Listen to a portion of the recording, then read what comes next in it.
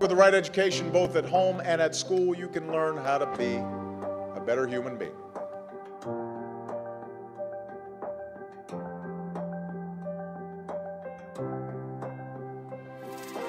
Well, the Haryana government has just announced that the Gita will now be taught as part of the school curriculum from classes 5 to 8 from the next academic session.